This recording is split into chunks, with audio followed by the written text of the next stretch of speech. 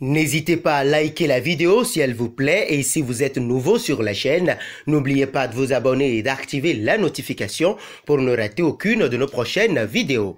On commence.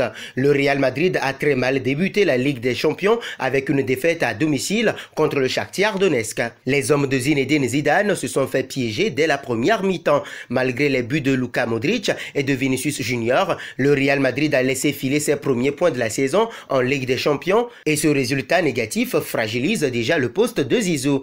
Interrogé par Didier Mario, Marco Asensio s'est prononcé sur la compétition et a désigné son grand favori. Selon les liens internationaux le champion en titre, le Bayern Munich, est son grand favori pour la Ligue des champions de cette saison. En tant que champion en titre, le Bayern est le grand favori, c'est le rival à battre. Chaque année, les équipes sont mieux préparées et n'importe quelle équipe peut vous tenir tête. On en a beaucoup parlé, mais je pense que nous, le Real Madrid, avons l'une des meilleures équipes au monde avec un grand équipementier. Pour le championnat espagnol, la Liga, je pense que l'Atlético et maintenant Séville, qui a un excellent entraîneur, peuvent être aussi des rivaux, a-t-il expliqué. Marco Asensio a également désigné Ferland Mendy comme le défenseur qui l'impressionne le plus à l'entraînement. Vous avez un ailier très lourd, mais je ne me souviens de personne en particulier. À Madrid, Sergio, Carva, Mendy est très dur. Je parle de l'entraînement. Mendy a de très bons concepts en défense. Je ne vois pas comment il met ses bras. De plus,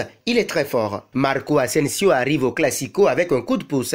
L'Espagnol a été clairement décevant durant le match contre le Shakhtar Donetsk mercredi dernier en Ligue des Champions. Il a commencé sur la droite de l'attaque, sa position favorite, mais il n'a pas pu briser le mur ukrainien ni en première ni en seconde période, bien qu'après la pause, il s'est en apparence. Il a tiré deux fois et a donné 42 bonnes passes sur 46, 91%, mais a perdu le ballon jusqu'à 14 fois et n'en a récupéré que deux. Alors selon vous, quel est votre grand favori de la Ligue des Champions cette saison?